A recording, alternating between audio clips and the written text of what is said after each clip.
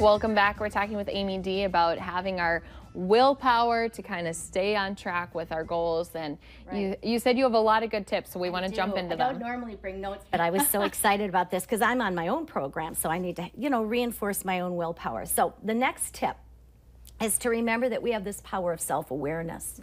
This is really what separates us from other animals it, it really is a unique thing that we can step outside of ourselves, we can watch our behavior, and we can choose differently. And that is so powerful.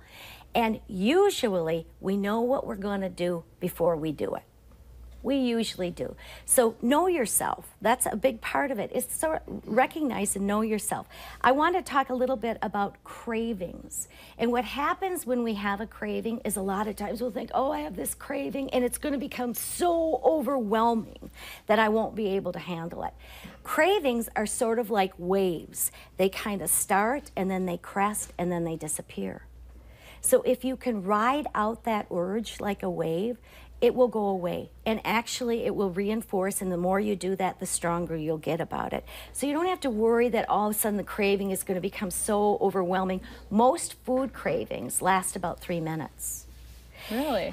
yeah, and you can wait out three minutes, right? So that isn't that long. And the other thing is that when you have a craving, instead of trying to, you know, push the idea aside, that doesn't work. It would be like me saying, think of any but anything but a pink elephant right now. Anything, you'll think about it and think about it. And that's what happens with that. When you have a craving, just sit back. You're having a craving. You're having a thought. It doesn't make any difference. You don't have to act on it. Mm-hmm. There's a difference between having a thought and acting on it. So, once again, put a little space between your impulse and between your action.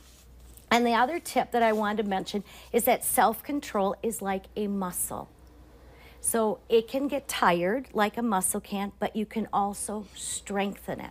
So if you want to do something to strengthen your self-control, set up a little experiment for yourself throughout the week. Pick one thing you will say I will to or one thing you will say I won't to and and work on that. Maybe you will give up. Um, I won't drink pop. I won't drink soda pop. And work on that throughout the week. And when you have that moment of craving, simply think of what that what I want, what I really want. And use that to reinforce and build on that muscle. And then the last tip I have, and this is so interesting, is be careful that you don't turn your willpower challenges into a measure of moral worth. So a lot of times what we do with willpower is we'll say, I had a good day. I had a good day. I, I was really good today. And then what do we do? Treat ourselves. Treat ourselves. Treat yourself. Exactly, because when you have a good day, it's a it's a reason to give your do something bad. And so when you set it up that way, you kind of set yourself up to fail. So throughout the week, kind of watch yourself and listen to the language that you use. It isn't about good or bad. Mm-hmm. And when you've done something and when you've when you've exercised or done something, you're doing it to adhere to your long term goal. You're not doing it because it's a value judgment. So make sure that you really stay away from that. And the last thing, and I love this, is the truth is we are so much stronger than we think we are. Mm-hmm. We are really something. When when we have to, we really push through you know and so even in that moment you think oh it's too tough it's too tough i can't do it. Remember that you're stronger than you think about than you think you are. There's a fun story i read and i had just gone through a storm the other day so it was it was a perfect story for this i thought. So a mom and her daughter were driving their car down the road and the daughter mm-hmm. was driving and it started to pour rain. And the daughter's driving and she said what should i do? And the mom said just keep driving but now cars are pulling off the side of the road and it's storming even harder. And the mom said, Keep driving, go slow, but just keep driving. And now semis are pulling off to the road. And she said, Just keep driving. You can do this, just keep driving.